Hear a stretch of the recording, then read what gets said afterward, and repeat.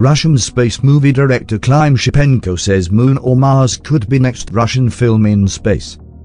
Russian film director Klim Shipenko said on Tuesday he was up for making a movie on the Moon or even Mars after returning from 12 days of shooting aboard the International Space Station that transformed his ideas about the possibilities of cinema.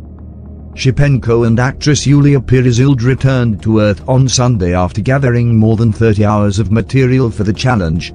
Billed as the first space movie and hailed by Russian media as a world-beating achievement. Asked about a possible Moon sequel, Shipenko told a news conference, We're ready. We believe space cinema should be filmed in space. If it's about the Moon, let's go to the Moon. If it's Mars, let's go to Mars. Why not? Why should cinema be filmed in a studio? Russian state media have provided breathless cover of the cosmic film venture, latching onto a rare feel-good story at a time when business titans Elon Musk and Jeff Bezos have been grabbing headlines with rocket launches and Russia's own space program has suffered delays, accidents and corruption scandals.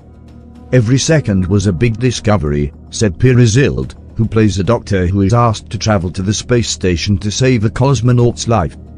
Shipenko said the crew aboard the ISS had joined in the filming, contributing their own organic dialogue, as well as holding him by the feet to stop him bumping into things. He said the experience had taught him new ways of creating cinema. Some scenes that I imagined one way on Earth came together completely differently. People can be face to face but one of them is head up and the other is horizontal and the camera can be on a different plane, and that transforms your consciousness completely, he said. For me it was a cinematic discovery, to realize scenes in a completely different way in three or four planes.